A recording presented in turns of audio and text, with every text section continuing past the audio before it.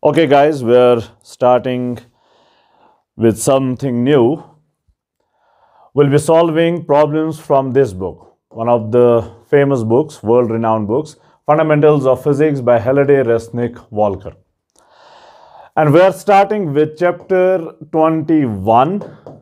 Chapter 21. I'm planning to solve first electricity and magnetism part of this chapter. So I'm starting with chapter 21, which is Coulomb's law.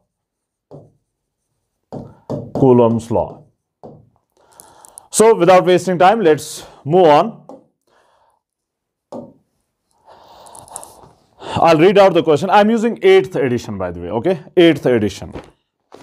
Question number 1, problem number 1. Simple C problem. What must be the distance between uh, point charges Q1 and Q2 for electrostatic force between them to have magnitude? Okay. So we are given two charges.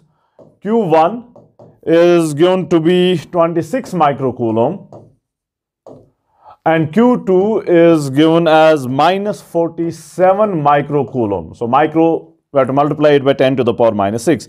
Force is given between them. Force is equal to 5.7 newtons. Okay, 5.7 newtons. 5.7 newtons we have to find out distance between them. Okay, we have to find out distance between them.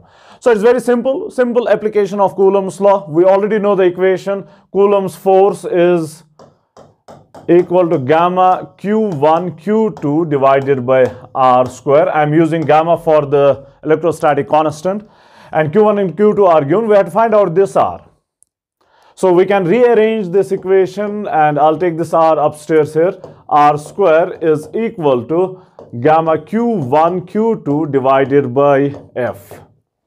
Divided now let's uh, substitute the values. So r square is equal to gamma is 10, 9 into 10 to the power 9 SI system.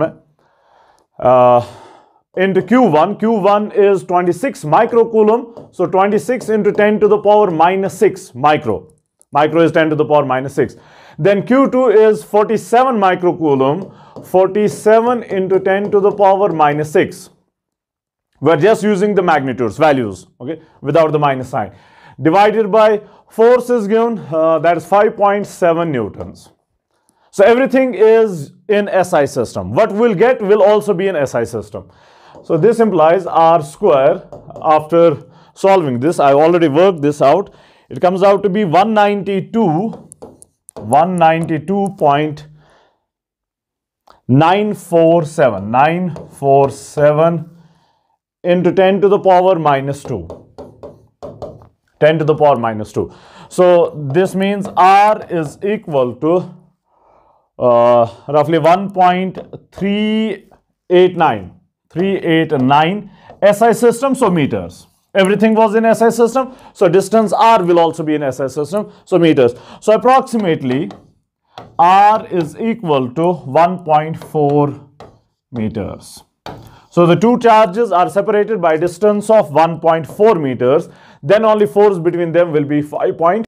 Force between the two. Two charges are unlike. This one is positive, this one is negative. So there must be an attractive force between them. Rest we just need the magnitude. So distance between the two charges is 1.4 newtons. So very simple. Very simple application of Coulomb's law. Gamma Q1, Q2 divided by R squared.